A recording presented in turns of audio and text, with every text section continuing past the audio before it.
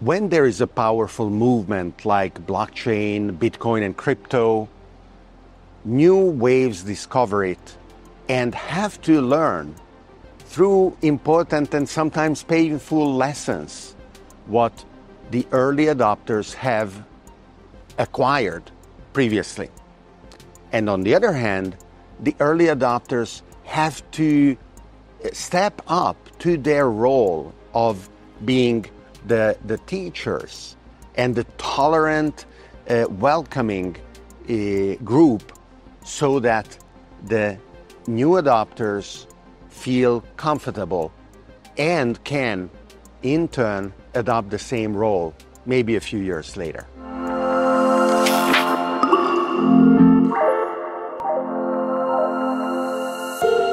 It is always uh, important to understand that when a new technology starts, it is necessarily a niche.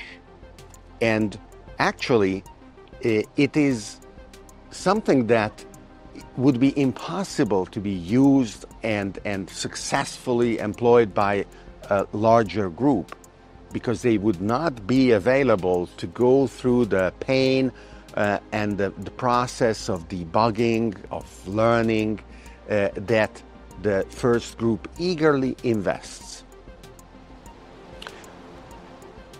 On the other hand, as technology matures, it becomes easier and easier to use, and then it is the right time to make sure that a broader group can adopt it, can deploy it, can usefully understand its benefits. So, specifically, this is what has happened in the world of Bitcoin and blockchain and cryptocurrencies in general uh, for the past 12 years.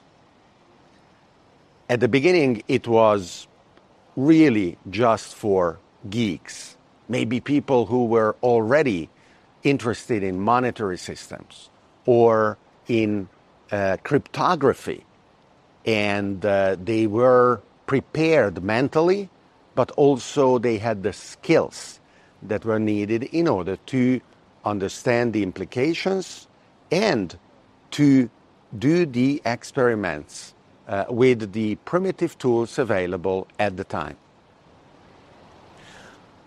Today, we are in a completely different world. Easy platforms, apps on our phones, on the web are available for practically anyone who uses a smartphone to also be active in the world of Bitcoin and cryptocurrencies. There is an important gap between the first group and this last group, last as of today. That gap is represented by the missionary zeal that the first feels, and the very pragmatic uh, approach of the second that doesn't necessarily look at what the long term implications are. The early adopters must be tolerant towards these new waves of uh, adopters. They have to be benevolent in welcoming them. They have to be patient in reaffirming and consolidating those values that they assumed were some of the most important ones as they started in their journey many years before. It is likely that there will be different interpretations. It is likely that some of these interpretations will be wrong. It doesn't matter. What matters is that the broadest possible community is able to execute in the development of the existing and the new applications that become available as ease of use, scalability, integration with existing platforms, the solution of certain important problems uh, is achieved. The waves of adoption in important technology movements uh, are characterizing cryptocurrencies and blockchain today as they have characterized, for example, the adoption of the internet previously. And new waves are coming. NFTs, non fungible tokens, are not only about collecting digital art.